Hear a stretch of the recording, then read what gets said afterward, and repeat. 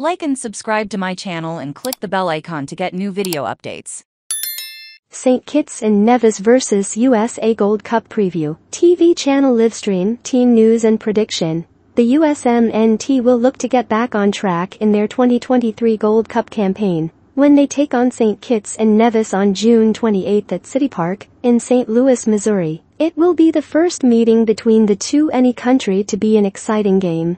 The Stars and Stripes drew with Jamaica and almost avoided a surprise defeat. It would have been their second loss ever in the group stage, but late heroics from substitute Brandon Vazquez gave the Stars and Stripes a tie point as the game ended 1-1 USMNT interim coach BJ Callahan wasn't too disappointed with the result, as not all the players who started the side played for the USA were used but there's no getting around it. St. Kitts and Nevis are underdogs in this duel. The country of around 55,000 inhabitants is taking part in the Gold Cup for the first time ever. Although it is a historic moment for the neighboring country of Montserrat in Antigua and Barbuda, they are still largely unprepared after losing 3-0 to Trinidad and Tobago in the competition's opening game. St. Kitts and Nevis only had 34% possession, but managed to conjure up 10 shots in the 90 minutes. Now the USA are third in Group A with 1 point,